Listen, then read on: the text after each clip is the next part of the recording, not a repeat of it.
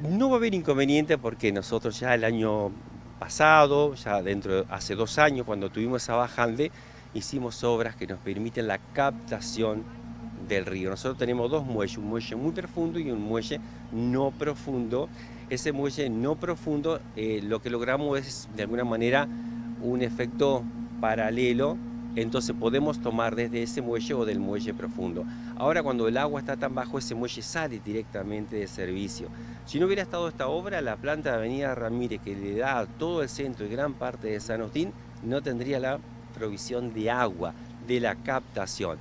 Con esto el río puede seguir bajando, Dios quiera que no baje porque tiene un impacto muy grave en lo que es nuestra ecología, pero nosotros hace tres meses ya veíamos que el agua venía bajando, eh, por eso trabajamos fuertemente en las playas para poder disfrutar al menos de las playas secas.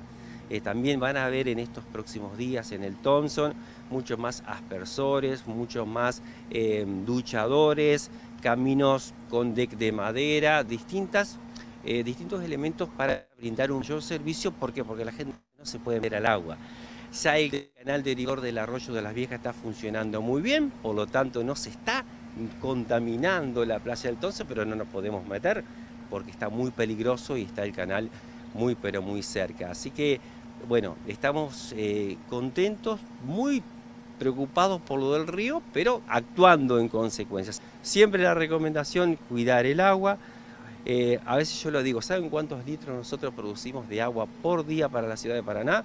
264 millones de litros de agua.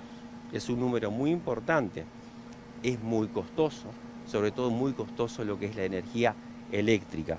Por lo tanto, siempre el pedido y la recomendación a los vecinos que la cuidemos.